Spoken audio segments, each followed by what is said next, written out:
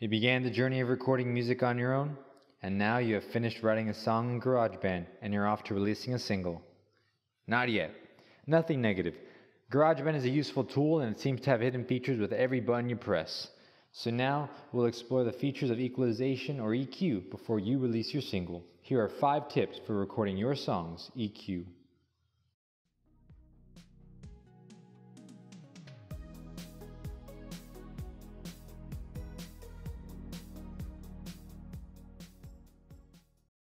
It's best practice to begin mixing with your phone around half or 50% of its capacity.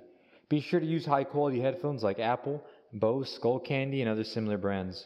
By mixing around 50% of your volume, you'll be able to hear and have room to adjust instruments and vocals with a comfortable amount of room. Any higher and you'll distort the audio tracks in the long run. GarageBand has an automation feature that allows for dynamic manipulation.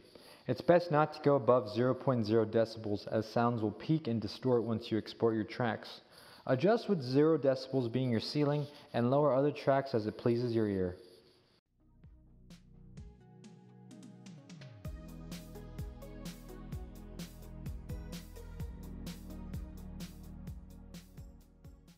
Depending on the instrument, you will get ambient noise and frequencies in a variety of sections throughout the overall song. Individually, your track may sound good. However, keep in mind the frequencies from 20 Hz to 100 Hz and 10,000 Hz and higher. Use a roll off to ease these sounds in your track. Notice the following example.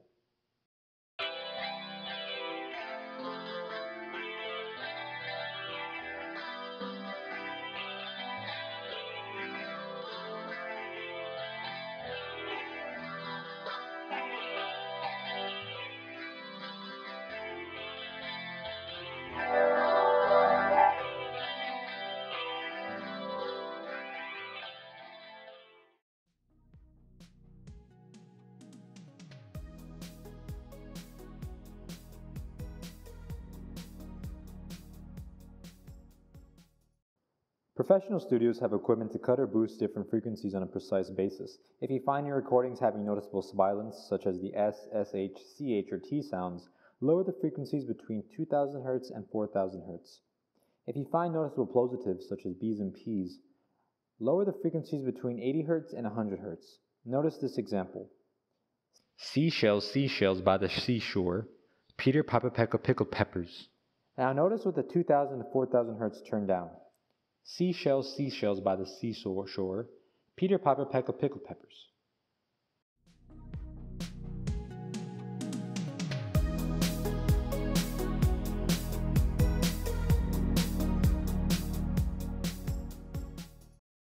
Normalize your track in GarageBand. Merge it with itself and use the presets available. These are designed to allow the EQ adjustments to make your song's process easier.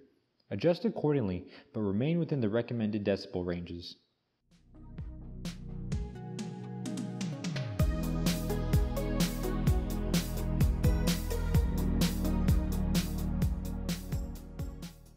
Lastly, think about the bigger picture. The song is made up of individual tracks, but together they act as the entire song.